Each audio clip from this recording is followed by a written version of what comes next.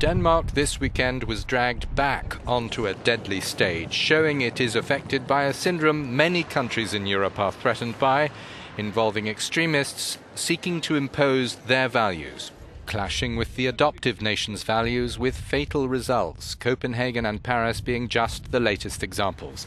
This conflict has been brewing for some time in Denmark, smouldering threats linked to the publication in one of the most widely read Danish language newspapers, Jyllands-Posten, in September 2005.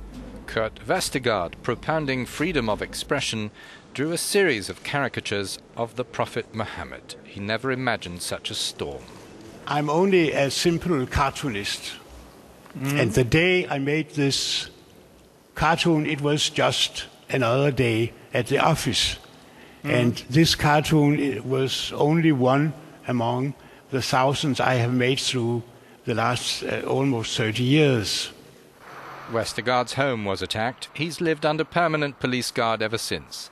Outraged over suggestions of any violence in their religion, early in 2006 Islamic Faithful attacked the Danish and Norwegian embassies in Damascus and the consulate in Beirut, and religious riots saw scores of violent protesters killed as host nations' security forces fought to protect other diplomatic missions in Afghanistan, Libya, and Nigeria as well. Newspapers across Europe republished some of the Mohammed cartoons in solidarity with the Danish stance on expression, not only Charlie Hebdo in France, but also others in Italy, Germany, and Spain, to name a few. The hatred went underground, appeared to quiet down until this year on the 7th of January. The unrepentant French satirical magazine came under renewed attack with 12 killed in Paris, core contributors among them, five more people killed in related attacks. The French and the Danes have not been forgiven for offending radicals living in their midst.